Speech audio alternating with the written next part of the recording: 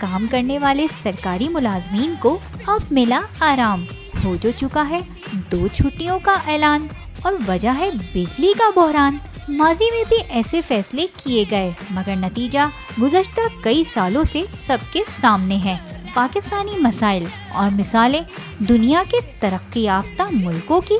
UK जो western industrial countries हैं उनमें भी सात बजे या छः बजे दुकान बंद हो जाते हैं। दुनिया के बहुत से ममालिक में दो दिन छुट्टी होती है। दुनिया में कहीं भी मॉल्स जो हैं वो गैर रात तक नहीं खुली रहती।